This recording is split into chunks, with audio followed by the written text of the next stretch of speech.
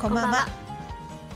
梅雨前線の影響で今日も県内各地で雨が降りました。今日は特段大気の状態が不安定というわけではなかったんですがここ最近は急にザーッと雨が降ってくるということもよくありますよね。そうですよね。そんな突然の雨でずぶ濡れになるという人も多いのではないでしょうか。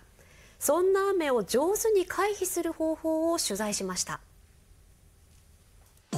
晴れていたかと思ったら急にザーッと降り出す雨。不安定な大気の影響などで最近はこうした突然降り出す雨が増えてきました。このように傘を用意する間もなく通勤通学の途中などでずぶ濡れになってしまう人も。突然の大雨をうまく避けるためにはどうすればよいか。福島地方気象台で話を聞くと。これは降水ナウキャストといいまして気象庁ホームページで提供しているものになります。こちらは気象庁のホームページで公開しているナウキャストです。5分ごとにこの後雨雲がどういう動きをするかというのを予想を見ることができます。予想は1時間先まで見ることができどこであとどのくらい雨が降るか確認できます。近年温暖化の影響もあり短時間に強い雨が降る頻度も増えていて気象台も突然の大雨を避けるのにこうしたツールも役立ててほしいとしています。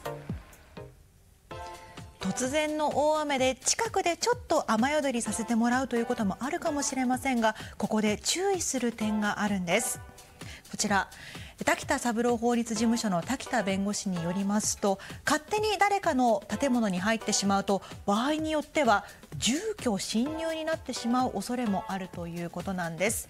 侵入するという行為が認められなければ犯罪にはならないということなんですけれどもトラブルを避けるためにも所有者に声をかけるようになさってください。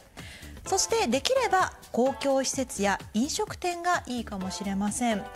ある大手チェーンのカフェのコメントでは雨宿りとして気軽に入ってください。その際はぜひコーヒー1杯でも買ってくつろいでいただければとコメントしていました。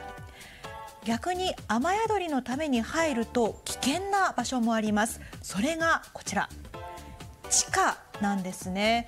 天井はあって雨に当たることはないんですけれどもえ水が下に流れ込んで浸水しやすく万が一の場合は出られなくなってしまう恐れもあります。十分に注意をなさってください。